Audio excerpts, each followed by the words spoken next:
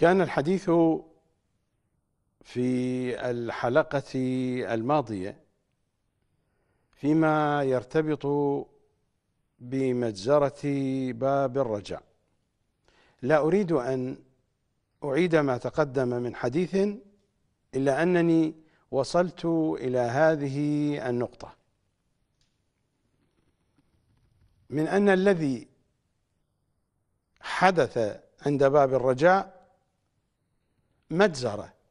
هناك قتلى وجرحى. وهذا القتل والجرح يدخل تحت هذا العنوان عنوان شبه العمد. فلا بد من دية تدفع ودية شبه العمد دية مغلظة إن كان ذلك في القتل أو في الجرح.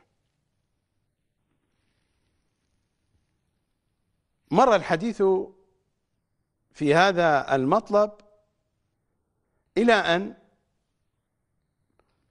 وصلت إلى هذه النقطة. هذا بحسب فهمي وبحسب قناعتي وبحسب استنتاجي. المسؤول عن مجزرة باب الرجاء هو السيد السيستاني. العتبة الحسينية هي آلة لارتكاب المجزرة وتلك الآلة أمرها بيد السيد السيستاني. لا أدري هل تعلمون أم أنكم لا تعلمون لكن الذين هم في وسط المشهد يعرفون هذه الحقيقة من أن العتبة الحسينية تتميز عن سائر العتبات الأخرى حتى عن العتبة العباسية التي هي في الحقيقة تابعة للعتبة الحسينية. العتبة الحسينية هي مركز حكومة السيد السيستاني الفعلية المتنفذ الأول فيها هو السيد محمد رضا السيستاني. هذا هو المتنفذ الأول والأخير النجل الأكبر للسيد السيستاني. العتبة الحسينية هي مركز حكومة السيستاني ولها من السلطة ما ليس في كل المنطقة الخضراء في بغداد. حكومة السيد السيستاني تتسرب قراراتها وسلطتها وإرادتها ومجرياتها من خلال العتبة الحسينية. وهو نوع من الدهاء. لم تجعل العتبة العلوية مركزا لحكومة المرجعية وإنما جعلت في كربلاء بعيدا عن النجف وما يجري في دهاليز النجف وما يجري في زواريبها وخفاياها. النجف وما أدراك ما النجف وماذا يجري فيها؟ وماذا يجري في كواليسها؟ وماذا يجري وراء كواليسها؟ عالم معقد جدا. أتمنى أن أجد فرصة كي أحدثكم عن أسرار دهاليز النجف وكواليسها فأنا الخبير بها. وجد خبير بأحوالها وتفاصيلها. أتمنى أن تكون فرصة كي أحدثكم عن ذلك. العتبة الحسينية هي مركز حكومة السيد السيستاني. قطعا ليس الشيخ عبد المهدي هو الحاكم أبدا. الشيخ عبد المهدي الكربلائي ما هو إلا موظف عند السيد محمد رضا السيستاني. والسيد محمد رضا السيستاني ولاه أبوه كل شيء منذ سنة 2003 هذه القضية قضية مقشرة وباختصار. لا أجد مجالا للتفصيل الكثير. من العارفين في شؤون المنطقة الخضراء يقولون لو أن أمرا صدر من العتبة الحسينية لو أن استفسارا ورد من العتبة الحسينية. لو أن طلبا جاء من العتبة الحسينية. لو أن العتبة الحسينية أرادت تسهيلا لشخص لأمر لأي شيء. إذا ما ورد شيء من هذا القبيل من العتبة الحسينية إلى المنطقة الخضراء فإنها تقوم على رجلها. وتقدم ما تريده العتبة الحسينية على أي أمر آخر.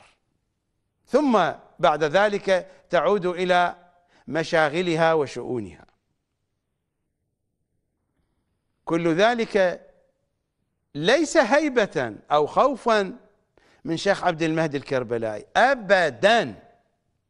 لأن المنطقة الخضراء يعلمون أن حكومة السيستاني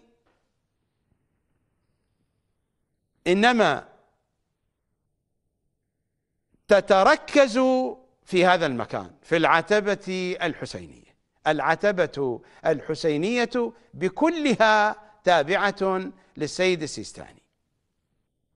حين أقول للسيد السيستاني إنني أتحدث عن مرجعية السيد السيستاني.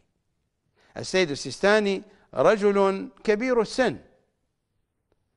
الآن هو في السنة الثانية والتسعين من عمره بحسب ما هو معروف عن تاريخ ولادته. هو في السنة الثانية والتسعين من عمره. وهو منذ 2003 أوكل كل الأمور إلى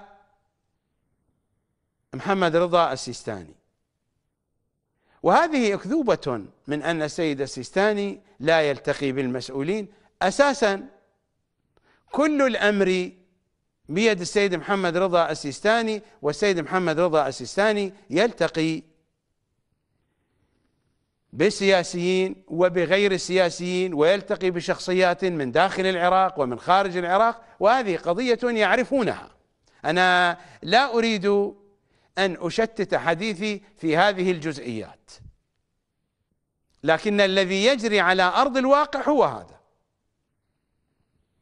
السيد السيستاني رجل اعتزل الحياة وسلم الأمور بيد السيد محمد رضا الذي هو نجله الأكبر. هذه الحقيقة من الآخر. هذا ما هو باستنتاج؟ هذه معلومات من داخل الوسط المرجعي. هذه معلومات من داخل بيت السيد السيستاني. الحقائق على الأرض هي التي تحدث عن ذلك. حتى لو لم يكن كلامي مستندا إلى معلومات. نحن إذا أردنا أن ننظر إلى أرض الواقع سلوا المعممين في النجف. من هو الذي يتحكم في النجف؟ وسلوا السياسيين في المنطقة الخضراء. من هو الذي يتحكم في القضايا الكبيرة؟ ابتداء من تعيين رئيس الوزراء وانتهاء ببقية التفاصيل. القضايا الكبيرة الذي يعطي القول الفصل فيها محمد رضا السيستاني والأمر كذلك في النجف. وإذا أراد شيئا من الحكومة فإنها تبادر لما يريد ولا يقدمون اعتذارا عن تطبيق أمر من أموره أبدا. هذا هو الذي يجري على الأرض. كل ذلك يمر عبر دهاليز العتبة الحسينية. فيخرج تارة على لسان عبد المهدي الكربلائي وتارة أخرى على لسان أشخاص آخرين. الحكاية في أصلها هي هذه. العتبة الحسينية هي آلة هي وسيلة بيد السيد السيستاني. والذين فيها هم أعوانه. ما جرى عند باب الرجاء هو بسبب أعوان السيد السيستاني. الذين اختارهم هو. حين أقول الذين اختارهم هو قطعا بعلمه.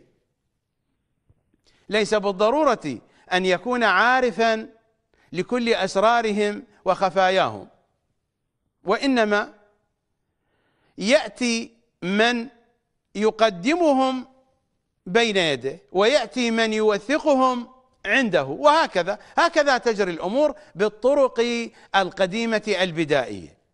الاعتماد في التوثيق على أشخاص لو أردنا أن ندقق فيهم هم ليسوا بموثوقين.